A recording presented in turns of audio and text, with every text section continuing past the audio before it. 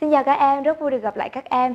Vậy là chúng ta đã hoàn thành xong toàn bộ phần lý thuyết cũng như bài tập liên quan đến Unit 4, bài số 4, Our Custom and Traditions, các phong tục tập quán và các truyền thống của chúng ta. Hôm nay chúng ta sẽ ôn lại toàn bộ các kiến thức mà chúng ta đã học thông qua phần Looking Back and Project. Và trước khi bắt đầu vào phần ôn tập ngày hôm nay thì các em cần chuẩn bị cho cô hai quyển sách, đó là sách học sinh và sách bài tập tiếng Anh lớp 8. Ở phía sau bìa 4 của hai quyển sách này các em sẽ thấy có đính kèm phần mềm IC Books. Đây là phần mềm sẽ giúp các em có thể tự làm bài tập, tự kiểm tra đánh giá năng lực của mình và tự ôn lại các kiến thức mà các em đã học ở trên lớp. Và nếu bạn nào chưa có hai quyển sách này thì các em cũng có thể truy cập vào trang web www.icbooks.vn để nhận được sự hỗ trợ nhé. Bây giờ chúng ta cùng bắt đầu với hoạt động đầu tiên, Activity 1 trong phần mềm IC Books để ôn tập lại những kiến thức mà chúng ta đã được học trong Unit 4 về các phong tục tập quán và các mẫu câu, các từ vựng liên quan đến các phong tục tập quán và truyền thống ở nước ta cũng như là phần ngữ pháp liên quan đến động từ khiếm khuyết have to. Chúng ta cùng bắt đầu với hoạt động đầu tiên Activity 1 trong phần Looking Back để ôn tập lại những kiến thức mà chúng ta đã học trong Unit 4. 1. Complete the sentences with the words from the box. Và ở hoạt đầu tiên này thì các em sẽ hoàn thành các câu bên dưới với các từ được cho ở trong khung khung xanh ở đây. Ví dụ như ở câu đầu tiên, we should our customs and traditions. Các em thấy ở đây chúng ta sẽ điền vào từ hợp lý đó từ respect. Chúng ta nên tôn trọng các truyền thống, các văn hóa, các phong tục tập quán và các truyền thống của chúng ta. Hay như ở câu số 2 number 2, a lot of countries in the world. Có nhiều, rất nhiều các quốc gia trên thế giới have the tradition of the ancestor. Có một cái truyền thống cái gì đó tổ tiên của họ. Vậy thì chúng ta thấy ở đây một cái động từ phù hợp đó chính là thờ cúng tổ tiên hoặc là cầu nguyện, thờ cúng, tưởng nhớ về tổ tiên, worshiping their ancestor. Đối với các câu còn lại các em cũng tiến hành tương tự như vậy và sau khi hoàn thành xong nhớ bấm nút submit để nộp bài và kiểm tra kết quả nhé. Tiếp đến chúng ta cùng thực hiện hoạt động số 2 activity 2. 2. Write sentences with the following expressions. Và ở hoạt động số 2 này các em sẽ phải viết các câu dựa trên cái mô tả được cho.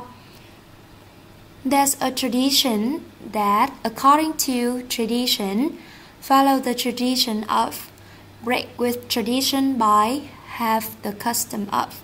Đối với những cái miêu tả này các em có thể viết lại thành các câu mở đầu của nó bằng các cái cụm này.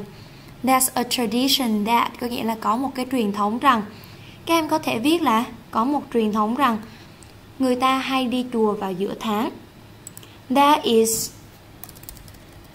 a tradition that people usually usually visit the pagoda, thường đến chùa, in the mid month, vào giữa tháng. Và nếu các em muốn sử dụng cụ thể hơn sẽ là mid lunar month vào giữa tháng âm lịch và sau khi hoàn thành xong bài này các em có thể bấm nút Show Answers bên dưới để tham khảo đáp án đúng nhất nhé. Tiếp đến chúng ta cùng thực hiện hoạt động số 3 Activity 3. 3. Complete the following words webs with the customs and tradition you know or have learned. Và ở hoạt động số 3 này các em sẽ hoàn thành cái mạng những cái mạng cái lưới từ ở bên dưới với các truyền phong tục và truyền thống mà em biết hoặc là em đã được học. Ví dụ như ở family custom and traditions, các cái phong tục, các thói quen và truyền thống của ở gia đình thì các em có thể viết vào đó là have dinner together, cùng nhau ăn tối. Hay như bên cột social customs and traditions, các cái phong tục về và truyền thống ở trong xã hội thì các em có thể viết đó là visit pagoda đi chùa. Sau khi hoàn thành xong các em cũng có thể bấm vào nút show answer bên dưới để tham khảo đáp án đúng nhé. Tiếp đến chúng ta cùng thực hiện hoạt động số 4 activity 4 4.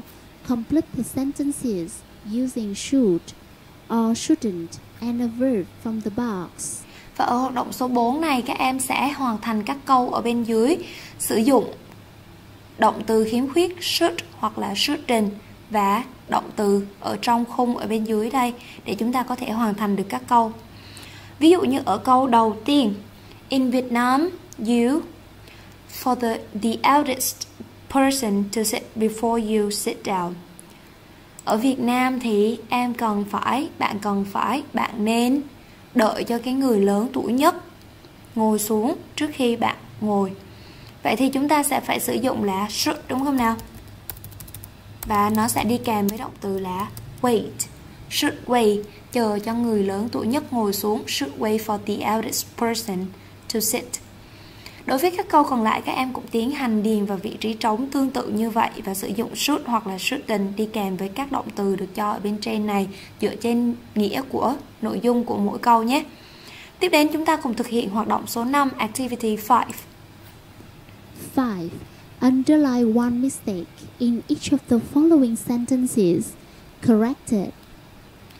Ở hoạt động 5A, hoạt động 5A này thì các em sẽ gặp chân và sửa lỗi các cái câu ở bên dưới, các lỗi sai ở câu bên dưới. Trước tiên chúng ta sẽ gặp chân để tìm ra các lỗi sai. Ví dụ như ở câu đầu tiên, khi bạn đến thăm các đền điện ở Thái Lan thì bạn phải tuân theo những cái phong tục quan trọng, những cái tập tục quan trọng. Vậy thì chúng ta thấy ở đây chủ ngữ là you. Tuy nhiên, nó xuất hiện has to, phải làm gì đó. Has to chỉ đi kèm với các chủ ngữ là ngôi thứ ba số ít đúng không nào? Vậy thì ở đây nó là một cái mistake, một cái lỗi sai, ta sẽ gạch chân vào đây. Và tương tự đối với các câu còn lại các em cũng xem thử nó sai ở đâu và chúng ta sẽ gạch chân tương tự như vậy nhé. Tiếp đến chúng ta cùng thực hiện hoạt động 5B. 5. Underline one mistake in each of the following sentences. Corrected. Và tiếp nối với bài 5A lúc nãy thì các em sau khi đã tìm ra các lỗi ở trong mỗi câu, bây giờ các em sẽ sửa lại các lỗi đó bằng việc viết lại bên cạnh các cái lỗi sai và chúng ta sẽ sửa lại. Ví dụ như you has to thì các em sẽ sửa lại là you have to. Và sau khi hoàn thành xong nhớ bấm nút submit để nộp bài và kiểm tra kết quả xem các đáp án mình sửa đã đúng hay chưa nhé. Tiếp đến chúng ta cùng thực hiện hoạt động cuối cùng Activity 6 trong phần Looking Back. 6. Game. What should I do? In small groups, take turns to choose one of these scenarios for each other. Once everyone has had a turn at answering, vote for the person who gave the best advice. Và ở hoạt động cuối cùng này thì các em sẽ chơi một trò chơi có tên gọi là What should I do? Tôi nên làm gì? Theo các, theo từng nhóm nhỏ thì các em sẽ lần lượt chọn một trong những viễn cảnh ở bên dưới. Khi mà mọi người lần lượt trả lời thì chọn cho người đưa ra lời khuyên hay nhất. Sau khi mọi người lần lượt trả lời thì các em sẽ bình chọn cho người có lời khuyên hay nhất. Ví dụ như I have been invited to dinner with a British family. Tôi đã có tại tôi đã nhận được một lời mời ăn tối với một gia đình người Anh. Vậy thì em sẽ đưa ra lời khuyên cho cái bạn này là đối với gia đình ở nước Anh, các gia đình nước Anh thì họ sẽ có phong tục hoặc là truyền thống như thế nào. Sau khi các bạn đã đưa hết ra lời khuyên, lần lượt đưa ra lời khuyên, các em sẽ tiến hành bình chọn xem bạn nào có lời khuyên hay nhất cho từng tình huống nhé. Sau khi hoàn thành xong toàn bộ thì các em cũng có thể sử dụng nút Show Answers ở bên dưới để tham khảo đáp án đúng nhất. Tiếp đến chúng ta cùng thực hiện phần Project. Project. How have they changed? Customs and tradition. Và ở phần project ngày hôm nay thì nó có tụ, chủ đề đó là Customs and Traditions, các phong tục và các truyền thống, how they have changed, các cái phong tục truyền thống này đã thay đổi như thế nào. Các em sẽ tiến hành theo nhóm 3 người hoặc là 4 người. Decide on the on a Vietnamese custom or tradition you want to research. Quyết định về cái phong tục hoặc là truyền thống của người Việt mà em muốn nghiên cứu. Đến bước thứ hai individually, mỗi cá nhân, từng cá nhân các em sẽ phỏng vấn người lớn tuổi hoặc là một cái hoặc là ông bà của em hoặc là một người hàng xóm của em về các phong tục và các truyền thống. Bước thứ ba, sau đó thì em sẽ interview, có nghĩa là phỏng vấn. Tiếp tục phỏng vấn một người trẻ tuổi, có thể là mẹ em hoặc là giáo viên của em để xem rằng xem liệu rằng những cái truyền thống, những cái phong tục này đã thay đổi như thế nào so với cho đến thời điểm hiện tại ngày nay. Bước thứ tư, các em sẽ quay trở lại với nhóm compare so sánh và combine và kết hợp với kết quả nghiên cứu của các bạn. Then together plan your presentation. Sau đó thì các em sẽ cùng nhau lên kế hoạch để thuyết trình về kết quả mà các em đã nghiên cứu được. Decide which of you will lead each part of the presentation và đừng quên là quyết định ai sẽ thuyết trình ở mỗi phần. Cuối cùng là các em sẽ đưa ra bài thuyết trình của em cho cả lớp cùng biết, cùng xem, cùng lắng nghe. Và sau khi các em đã hoàn thành xong phần này thì các em có thể bấm vào nút Show Answers ở bên dưới để có thể tham khảo đáp án về phần project này nhé.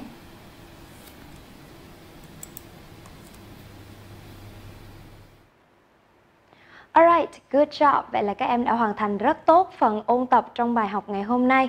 Và chúng ta cũng đã kết thúc xong phần lý thuyết cũng như các bài tập liên quan đến Unit 4, Our Custom and Traditions. Trong bài học tiếp theo, các em sẽ tiếp tục được học về Unit 5. Trong bài số 5 thì các em sẽ được học về Festival in Vietnam, những lễ hội ở Việt Nam. Và các em trong bài số 5 này thì các em sẽ được học các từ vựng, các mẫu câu liên quan đến các hoạt động lễ hội tại Việt Nam. Bên cạnh đó về ngữ pháp thì các em cũng sẽ được học về complex sentence, câu phức. Các em về nhà hãy ôn tập lại các bài mà chúng ta đã được học trong bài học ngày hôm nay thông qua phần mềm IC Books và đừng quên chuẩn bị cho bài học tiếp theo Unit 5 Festivals in Vietnam nhé. Goodbye and see you!